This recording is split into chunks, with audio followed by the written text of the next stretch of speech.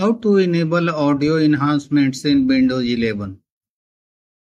Hello friends, follow the steps. Right click on the speaker icon from the taskbar. Select sound settings. Scroll down and click on more sound settings.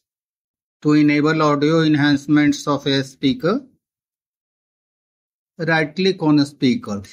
Select properties Click on the Advanced tab. Check the box Enable Audio Enhancements. Click on Apply. Then on OK. To enable audio enhancements of a microphone, click on the Recording tab. Right click on the mic. Select Properties. Click on Advanced